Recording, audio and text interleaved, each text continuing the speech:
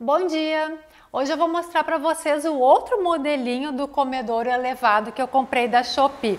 Lembra o vídeo? Já tem um aqui mais explicadinho, eu vou deixar no box de informações, como eu sempre deixo todos os vídeos relacionados, que eu expliquei melhor sobre esse aqui, mostrei mais detalhes, Acho que eu botei o link do vendedor, nem sei se esse aqui, eu vou olhar se é o mesmo vendedor, se não for eu posso deixar desse novo também, veio muito, muito bem embalado. Então esse aqui eu já tinha mostrado para vocês e eu comentei que tem um outro modelinho que ele é um pouquinho mais baixo, o pé dele, mas que ele é um pouquinho maior e que eu tinha escolhido esse justamente por esse espaço aqui ser mais alto, porque a ração começa aqui, né? Isso aqui tudo é pé, aqui é a base da ração. Então a ração começa aqui, e essa partezinha aqui, no caso tanto que vai ficar elevado para o gato comer, é um pouquinhozinho mais baixa do que o outro.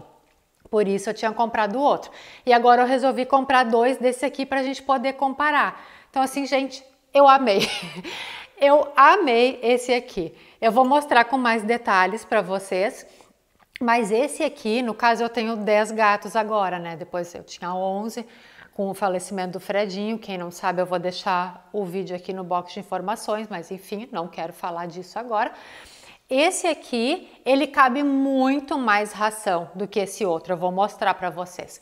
Cabe muito mais ração, então apesar do pé ser um pouquinho mais baixo, o que na minha opinião a altura do outro é mais interessante, seria melhor até ser um pouquinho mais alto do que o outro, ele é meio pequeno. Então, para mim que tenho vários gatos, toda hora eu tenho que ficar repondo a ração. Tá, toda hora não, né?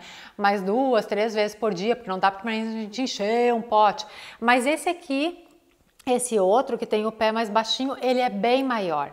Então, ele não é gigante que a pessoa vai colocar a ração lá e vai ficar dois dias a mesma ração. Não, isso não se faz. Mas também não é tão pequenininho como ali, aquele outro ali que cabe tão pouquinho, sabe? Então, esse aqui, na minha opinião, é melhor. A diferença deles é que esse aqui, esse maiorzinho, que tem mais espaço aqui e é mais fundo, ele tem o desenho de um gatinho.